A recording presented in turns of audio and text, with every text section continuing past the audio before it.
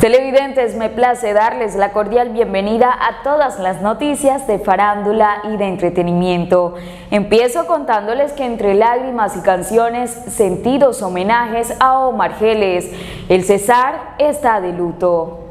En la emblemática Plaza Alfonso López, en la que Omar Geles se coronó rey vallenato en 1989, se llevó a cabo la noche de este miércoles un sentido homenaje a este cantautor y acordeonero. Sus amigos y colegas artistas del folclor vallenato se dieron cita en el escenario para rendirle tributo a uno de los más grandes exponentes de esta música, considerado un verdadero juglar, porque componía canciones, tocaba el acordeón y cantaba entregando 38 años de trayectoria artística para el engrandecimiento del género, traspasando con sus éxitos las fronteras nacionales. Luego de un recorrido por las principales calles de la ciudad al trasladar su cuerpo desde la Biblioteca Departamental Rafael Carrillo Luques, donde permaneció en cámara ardiente hasta la Plaza Alfonso López, se dio inicio al homenaje en el que muchas lágrimas corrieron, recordando al hijo de la vieja Hilda. Durante los actos protocolarios se cumplieron desde las 8 de la mañana de este jueves en la Plaza Alfonso López, la gobernación del Cesar exaltó la vida y obra del maestro Margeles, entregando a sus familiares notas de estilo como un reconocimiento al valioso aporte de este junglar a la música vallenata. Hacia las 11 de la mañana el cuerpo de Omar Geles fue trasladado al cementerio Jardines del Exiomo para darle sepultura en medio de la tristeza de su familia, amigos, colegas y seguidores.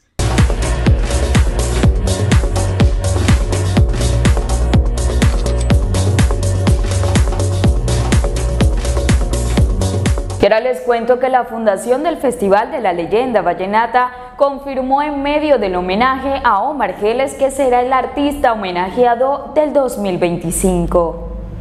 En un emotivo homenaje realizado la noche de ayer en Valledupar se anunció que el Festival Vallenato del 2025 rendirá tributo al compositor, acordeonero y cantante Omar Geles. El anuncio fue realizado por el compositor Gustavo Gutiérrez, miembro de la junta directiva del festival, quien declaró le vamos a hacer el homenaje el año entrante. Horas antes, Rodolfo Molina Araujo, presidente de la Fundación Festival de la Leyenda Vallenata, había manifestado en una entrevista que se estaba evaluando la posibilidad de homenajear a Omar Geles en la próxima edición del festival. La fundación ya había comenzado la organización de la próxima edición del festival, pero con la partida de Geles están considerando reorganizar los planes para que el homenaje del 2025 sea dedicado a su memoria.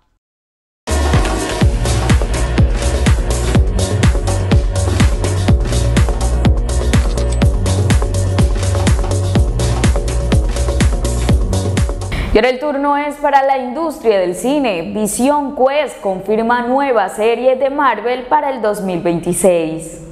La serie de visión con Paul Bettany regresando una vez más como el androide vengador que Marvel había anunciado ya hace un par de años, al fin se encuentra en marcha y ya tiene fecha de estreno en Disney Plus. Sin embargo, según recoge Variety, la serie centrada en visión ya está en marcha en un nuevo showrunner. Terry Matalas, coseador de la adaptación televisiva de 12 monos y guionista director de varios episodios, es el escogido por Marvel para desarrollar esta ficción que llegará a la plataforma de streaming en algún momento del año 2026 bajo el título oficial de Vision Quest.